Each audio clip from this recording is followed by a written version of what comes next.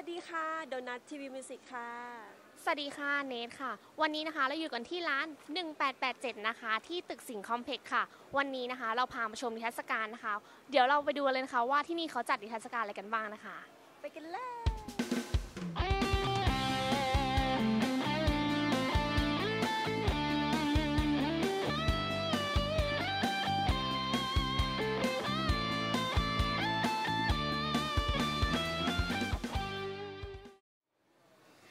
และตอนนี้นะคะ เราก็อยู่กันที่หน้าร้าน 1887 แล้วนะคะ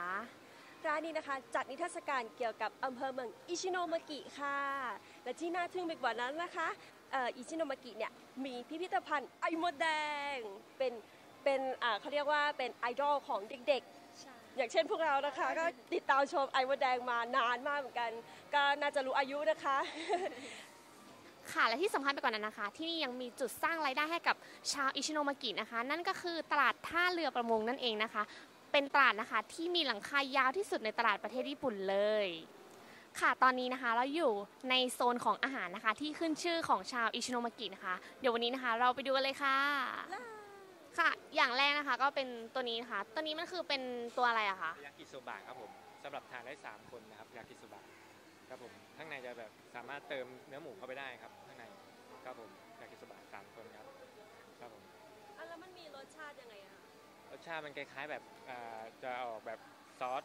ได้กลิ่นซอสนิดหนึ่งครับได้กลิ่นซอสแบบคล้ายๆแบบนั่นนิดหนึ่งครับสเมลหอมอย่างนี้ครับค่ะแล้วตัวนี้นะคะตัวนี้เป็นอ่าปลาโซบะคล้ายปลาทูบ้านเราครับแต่มีขนาดกินได้ประมาณสองคนครับผมจะไปอบอบมีกลิ่นหอมครับเป็นแห้งๆครับเก็บไว้ได้นานครับ มคะมันคล้ายๆกินกับซาซาบะของญี่ปุ่นนะครับครับผมอ๋อ นี่คือก็ยังไม่เคยกินเหมือนกัน ครับผมเอาเป็นอ่างั้นตัวต่อไปเลยดีกนี่ว่าเป็นค่ะわらび อ่าโมจิครับคล้ายๆโมจิเป็นคล้ายๆเจลลี่ครับเป็นคล้ายรสชาติคล้ายๆจลลี่นะครับผมลองทานไหมครับลองชิมได้ครับอ่า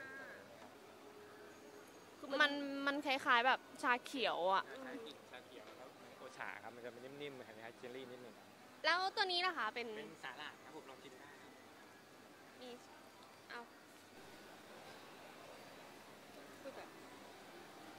เป็นรส original นะครับหอมเลยกินเหมือนสาหร่ายเลยค่ะอ๋อก็คือสาหร่ายค่ะ มันมันแบบมันไม่เหมือนของไทยคือมันดีกว่าเยอะเลยอะ มันกรอบค่ะ แล้วมันก็แบบเค็มมีกลิ่นหอมมากๆเค็ม เป็นไง หืมอิ่มค่ะ อิ่มเปรมค่ะวันนี้นะคะ เรียกได้ว่านะคะ เป็นอาหารที่อร่อยมากๆเลยค่ะ และวันนี้นะคะเราก็ขอทิ้งท้ายด้วยบริการดีๆ ถ้าท่านใดสนใจนะคะ อยากจะไปทัวร์ที่ญี่ปุ่นนะคะ กับเราที่ทัวร์ลูกเป็ดของร้าน 1887 นะคะ เรามาฟังรายละเอียดกันเลยค่ะ ได้ค่ะ อันนี้นะคะของเราก็จะเป็นโปรแกรมนะคะนิโก้โตเกียวนะคะ แล้วก็นี่ค่ะเป็นโปรแกรมนะคะสำหรับ 8 ท่านนะคะ เป็น private group ค่ะ เป็นกลุ่มเล็กๆ แต่ว่าเราสามารถ